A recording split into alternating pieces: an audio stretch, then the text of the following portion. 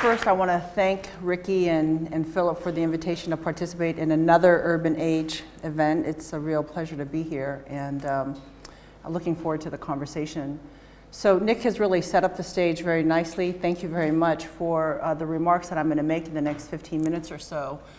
And the answer to this question that I've put up here is pretty simple yes. And what I'd like to do is actually go through some of the ways in which cities can mitigate climate change and again underlie the urgency of this, what we really need to do. I want to start off with this statistic that came out of the last IPCC report, the fifth assessment report, the AR5. And one of the big conclusions of the third working group, which I was a part of, is that greenhouse gas emissions growth continues to accelerate. The growth continues to accelerate despite mitigation efforts in many parts of the world. I'm in an environment school at Yale, and when this result came out, I will say that it was quite disconcerting because there are many efforts underway. We would like to think that these mitigation efforts are making an impact. Why do we see the emissions growth accelerating despite these mitigation efforts? We see that over the last 10 years, or from 2000 to 2010, the growth in emissions was even greater than in the period before. Here you see that uh, from the period of 1970 to 2000, the rate of growth per year was about 1.3%. And in contrast, from 2000 to 2010, that rate of growth was 2.2% per year. And the economic collapse, you see there's a little blip there, but didn't really make that much of an impact in changing the overall trend. And you see in this graph in the yellow that the dominant driver of these emissions is fossil fuel and industrial processes. Now I want to just spend a couple of minutes talking about the changes over the last 40 years in the geography of emissions because it's going to be really important when we get into the discussion about urbanization. What we're seeing is that there's been a significant shift globally in the geographic patterns of greenhouse gas emissions. From 2000 to 2010, these upper middle income countries, and these are the World Bank designation, not the IPCC designation, but if you look at the World Bank designation, it'll give you a list of these countries. These countries were responsible for 75% of the increase in total annual greenhouse gas emissions. So you can see that total emissions uh, per year, this doesn't work, barely works, but you can see as 18.3 gigatons almost catches up to the very high income uh, levels. Now, I will say that this is a little bit misleading because if you look at the list of countries, it's like you know when you take introduction to statistics and the teacher says, you know, in some cases you might use the average, in other cases, you don't want to use the average because if you have someone like Bill Gates as part of your sample, your average may be skewed. And so these numbers are clearly skewed for the, middle, uh, the upper middle income uh, numbers by one or two countries that uh, have very high emission rates. But the other thing to notice is that when countries, uh, countries at the lower middle income and upper middle income, we see that industry and energy are a very large percentage of their total greenhouse gas profile. But for high income countries, we see that transport, you know, it's those cars that we like, transport becomes an, a, a growing portion of the overall profile. So I want to just have you keep that in mind in terms of this changing geography. What happens to emissions as countries develop from lower income, upper middle income to um, uh, high income countries. I want to just put this statistic up here because it's probably something that many of you are not familiar with, that if the top 50 emitting cities were a single country would rank third in emissions behind China and the United States. So this really underscores the, I would say, the currency that cities have in affecting climate change. That what happens in these 50 countries, or 50 cities, certainly has a really big impact. Now, I'm curious to know how many people here have read the fourth assessment report of the IPCC?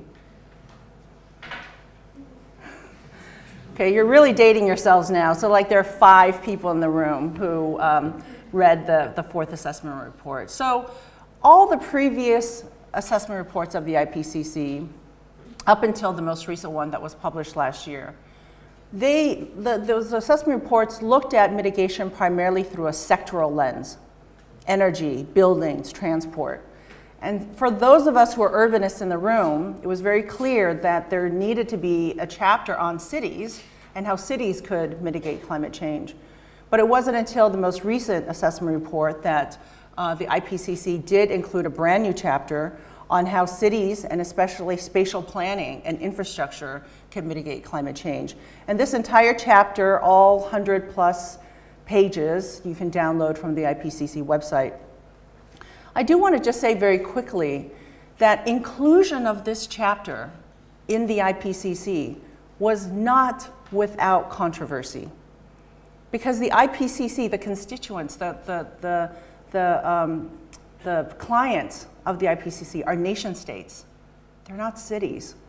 So when many of us said, you know, there needs to be a chapter on cities and how cities can mitigate climate change, this is one of the biggest trends of the 21st century. It's climate change and it's urbanization.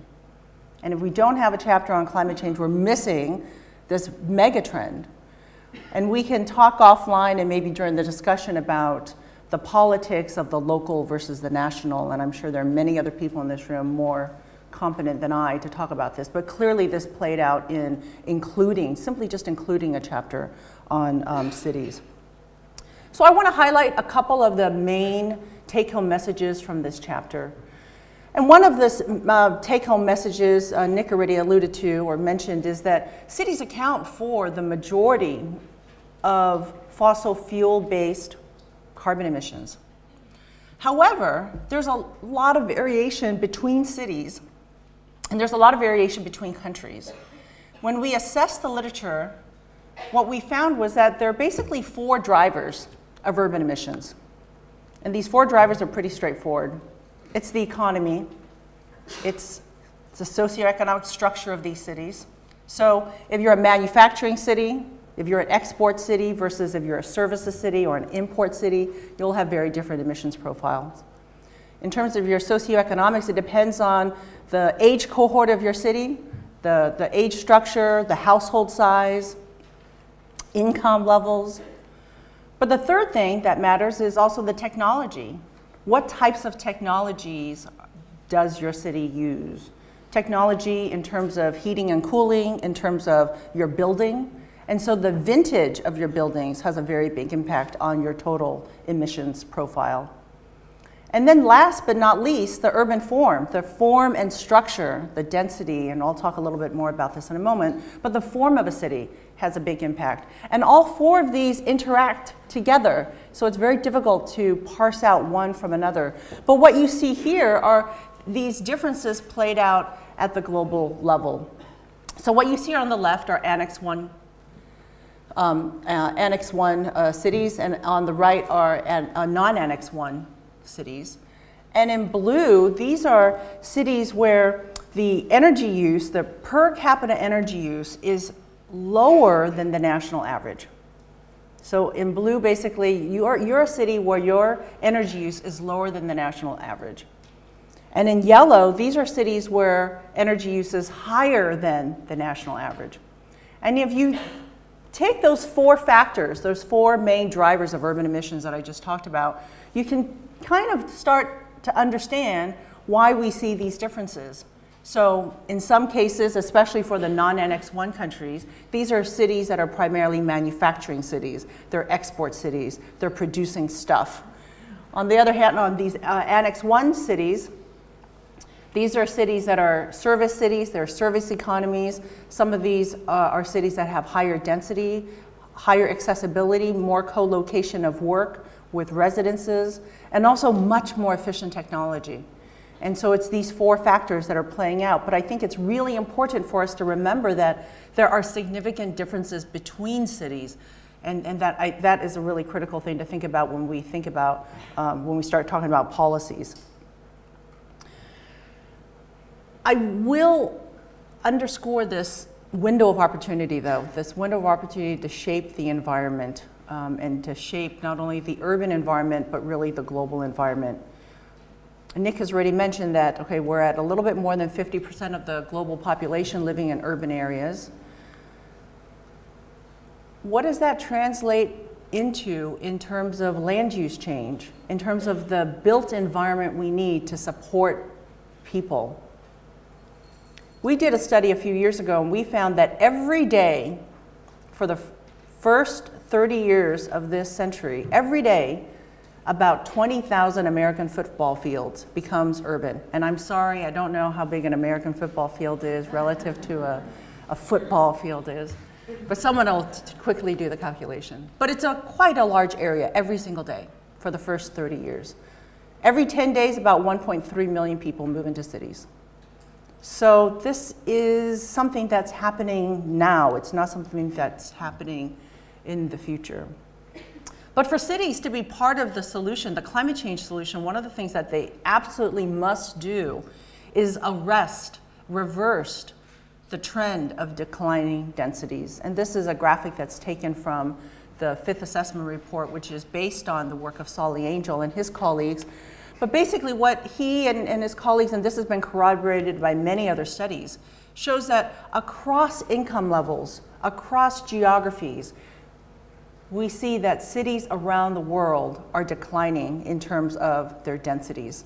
So we're not becoming more compact and walkable, we're actually sprawling out and becoming more of transit-based, car-based uh, cities. So if cities are going to be part of the solution, this, has, this trend has to be reversed. Now, I'm not going to have time to go into this in detail, but I do want to say that urban form, I've mentioned these four factors that drive urban emissions, urban form is one of the factors, one of the main factors that localities can affect completely within their jurisdiction, whether it's through zoning or land use laws. Four characteristics of urban form are especially important for shaping urban emissions. One of them is density, but density, as we'll get to now, is that increasing density alone is not sufficient for reducing urban emissions. Because these urban form, these factors, there are a number of them. It's not just density, it's also land use. Places that have a higher land use mix tend to have lower um, emissions. Places that have high connectivity, where you have a lot of intersection density, basically makes it easier for people to walk to places. Those are also places that have uh, lower emissions. But then really the one thing that has a big, big impact is this last point here, which is accessibility. And accessibility in the literature can be measured a number of different ways, but think of it simply as how easy is it for you to get to the services and activities that you're interested in, whether it's school or work or your grocery store. How easy is it to get to? Now we can think of ease or things to be uh, places that are accessible a number of ways. You can think of a freeway going really fast on a, in a fast car as being very accessible. But then those are places that generally aren't very connected and don't have a lot of high land use mix. You can think of accessibility where residences are co-located or located very close to where people work. And that is probably one of the most defining ambitious characteristics in terms of low, low carbon urban form is for places to have high accessibility. But I think one of the important things to remember is that density alone is not going to solve our climate problem. Increasing density without intentionally locating people close to jobs and close to services will not lower emissions. One of the things that we're going to see coming in the next, it's happening now, but really over the next 10, 20 years, is infrastructure development, primarily in lower income and developing country cities. And this infrastructure development is going to result in significant emissions to mine the material, to process the material, to transport the material, and to build the buildings. You know, oftentimes when we think about climate change and policies to mitigate climate change, we focus on things like energy efficiency of the lights, of our buildings, of our windows, of our cars. But there's an embodied energy, embodied emissions associated with building all this stuff. And so this is another uh, graphic that's taken from the IPCC report, which shows differences in infrastructure between Annex 1 countries. You can see the average here for Annex 1 countries. We have a lot of infrastructure in our countries compared to the global average down here, which is relatively low. If developing countries over the next 20 years develop their infrastructure in the same way that we have in Annex 1 countries, this is what the emissions profiles will look like. This is just to build the infrastructure. This is not to operate the infrastructure. So there's a lot of emissions associated with building the infrastructure to um, support um, the urban population of tomorrow, even of today. What we're seeing with satellite data, you know, we keep thinking that urbanization, this urban transition and urban revolution is something that's going to happen in the future, but it's already happening now. This is um, work that we've done uh, with some collaborators at uh, University of New Hampshire, um, where they've used satellite data to look at the growth of infrastructure. And what's interesting here is this is data from 1999 to 2009, and I'm going to give you a crash course in satellite image analysis. So what we have here are two different types of satellite data. On the x-axis, these are the night lights. How many people here have seen the night lights?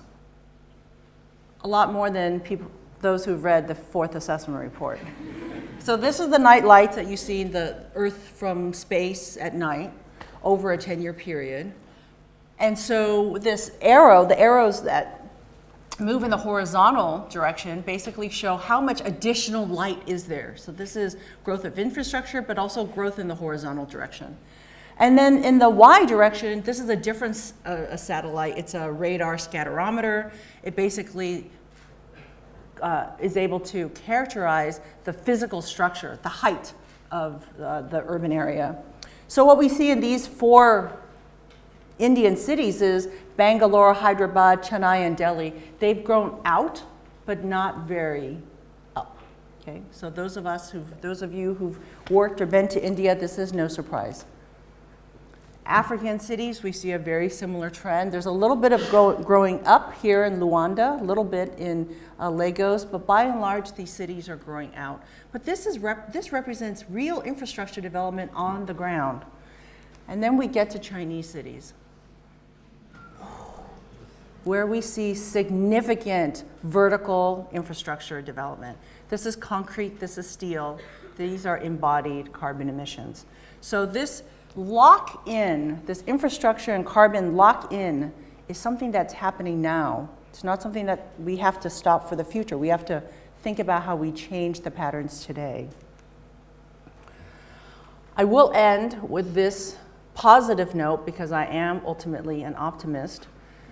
Uh, which is that there is an urgency. There's, th there is this window of opportunity because once infrastructure is built, it's very difficult to change it. You know, once you build the backbones of a city, the roads, the, the, the, the uh, transport lines, et cetera, it's very difficult to change it. And so there is this urgency, this window of opportunity, but more urban areas will be built in the first three decades of this century than all of human history. So those of you who are planners and designers, you have your work set out for you. so with that, thank you very much.